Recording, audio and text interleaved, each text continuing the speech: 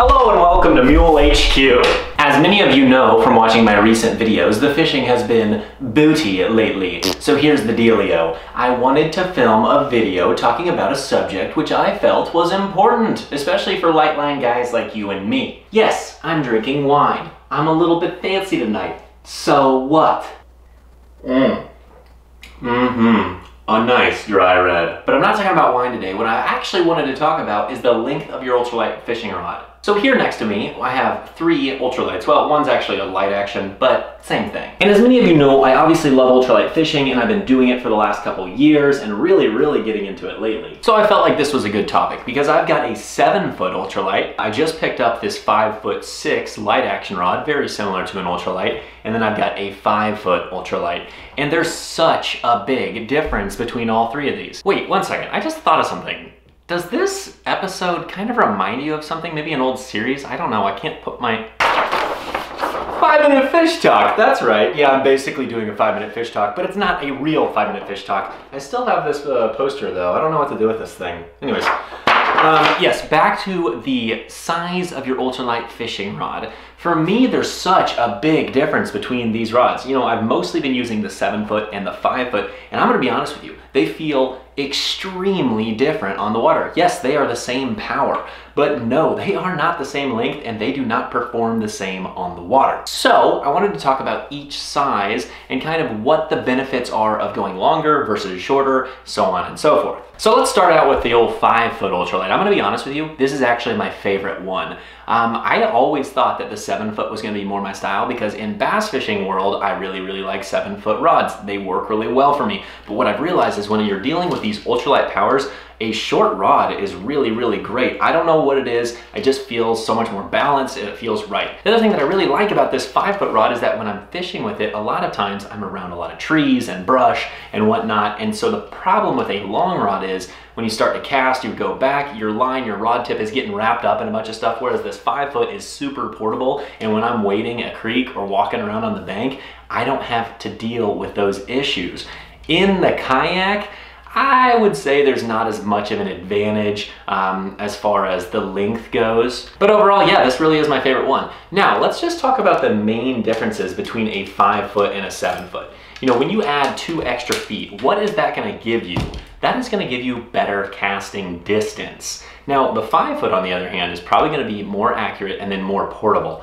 I've realized that for an ultralight, with the way, with how flimsy it is, I can still wing baits out pretty far with this, and 99% of the time, I don't need to cast super far anyways. So what I've realized is that a short rod for ultralights is really more my style. Obviously, I'm kind of rambling here, and I don't have a lot of structure to this video, but I did just want to talk about the subject because I thought you guys could get some value out of it, and I thought maybe you could actually add value by commenting below what your preferences are, because one thing that I do know is that everybody's got their own preferences and there's no right or wrong answer here. So getting into the seven foot rod, the reason that I don't like this one quite as much as the five foot is because it's so flimsy and it's so long, it just feels wonky. I don't even know how to describe it. When I'm casting small baits, it just feels kind of tip heavy. Um, and that is actually why I changed the reel out from this new rod I got and I put a bigger reel on this one. I think it's gonna help the performance of this seven foot rod immensely because it's gonna help the balance of it.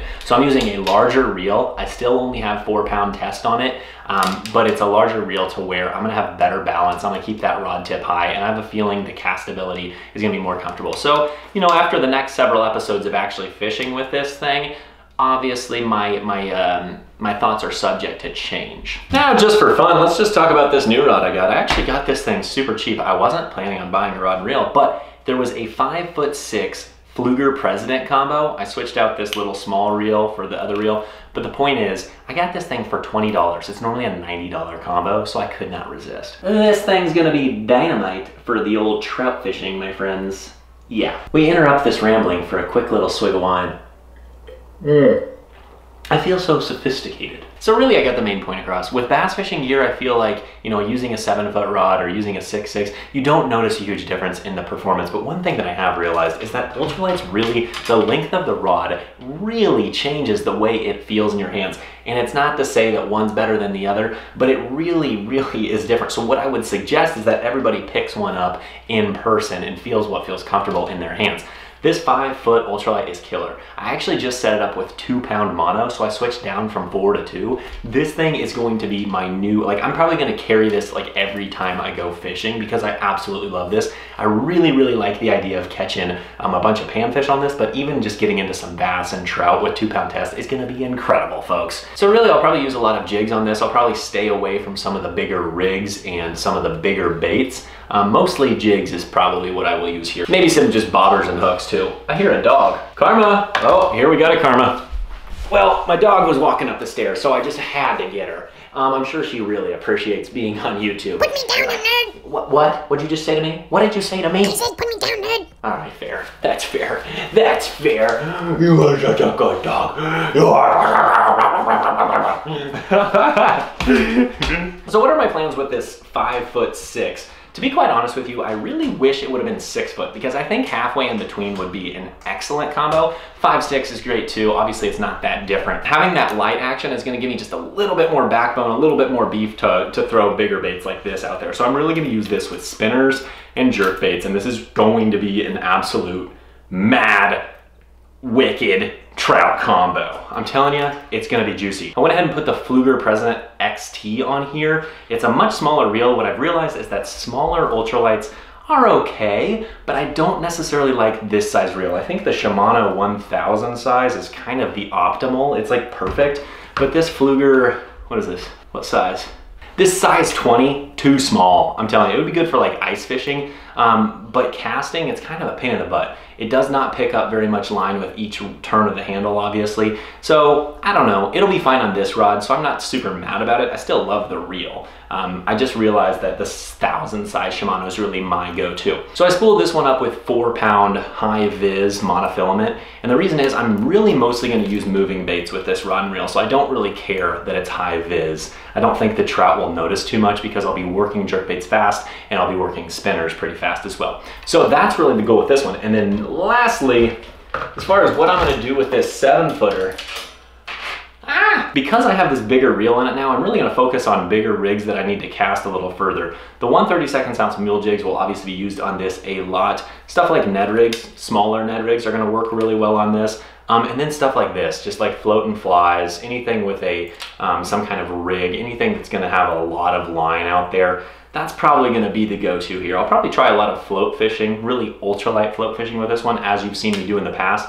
But I think switching up to this size 30 Pflueger is gonna be an absolute huge upgrade, folks. So, I'm pretty happy about it. I don't know. I just honestly rambled at you for like, you know, 10 minutes. I don't know whether this video is going to turn out good or not, but one thing I do know is it's snowing outside and that's been kind of brutal. So I wanted to talk about this subject because I enjoy talking to a camera about fishing stuff. You know what? Mule HQ is coming along. I've got a lot of stuff yet to do. I've got all my inventory of mule stuff over here. Um, make an order. I'll shove them out. This is the station, folks. Regardless, thank you so very much for watching this random episode. If you want to see more videos like this in the future, all you got to do is comment below and let me know. Otherwise, hope you have a great day and uh, we'll catch you next time.